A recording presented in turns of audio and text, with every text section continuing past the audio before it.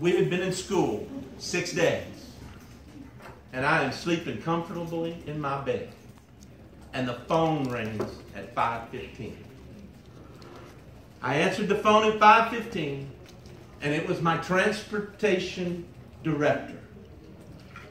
And I heard the rain outside, but you know what? It was just a rainy day. He told me, he said, Mr. Wentzel, I got to let you know. And he's only been on the job five days. So he's brand new to his job. He said, I got to let you know, we got buses that can't go down some roads. They're already, they're flooded.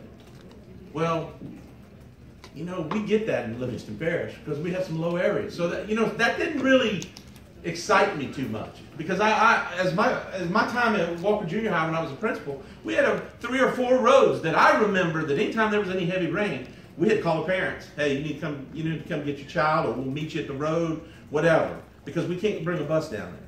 So I, I wasn't overly concerned. So when I and I knew he was new, and he wasn't sure how to handle that too. So he called me.